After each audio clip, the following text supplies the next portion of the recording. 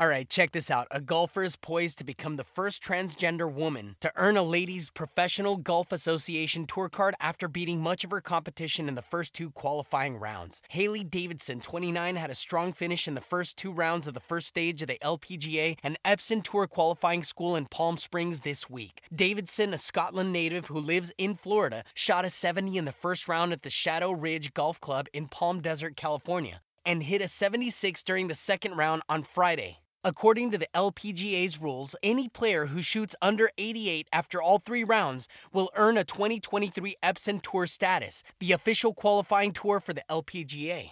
Competing against 310 other women, Davidson is tied at 59th place and appears to be in a good position to pass the first stage and move on to stage two in October against the top 100 players. The LPGA Tour had removed its female at birth requirement back in 2010. Davidson last competed as a male golfer in 2015, after which she began hormone therapy treatments and underwent gender reassignment surgery in 2021.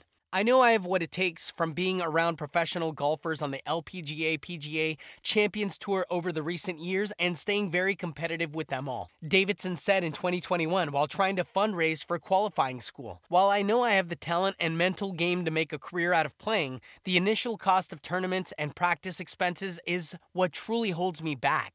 While failing to make qualifiers that year, Davidson stayed competitive in other tournaments, ending one match just three shots behind 2010 U.S. Women's Champion Paula Creamer. The majority of Davidson's time has been spent competing on the East Coast Women's Pro Golf Tour, winning three of the last five matches before the summer qualifiers. Although the top male golfers can typically hit the ball further than their female counterparts, Davidson claims that the majority of criticism about her competing in the women's circuit is transphobic rather than a real dialogue over the sport. Davidson said that after her transition, she now hits the ball 15 miles per hour slower.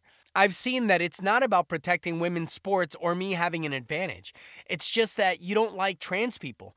Davidson said of her detractors while speaking on the Like It Is podcast. If it's very sad that that's what it's come down to. In the last couple of months, that's what I've come to learn. Davidson's expected success in the first round comes amid a culture war in America over regulations and allowing transgender athletes to compete in women's sports. Although professional bodies like the LPGA and PGA set up their own rules and regulations, debates have erupted across the country over athletes competing in high school and college.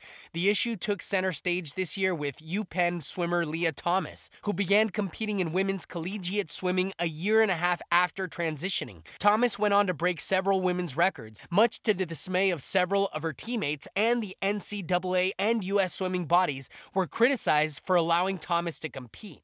Professional Competitive Swimming Association, FINA, has since effectively banned trans women from competing in the sport by saying they must have begun to transition before puberty kicked in, which is illegal or almost impossible to do across most of the US.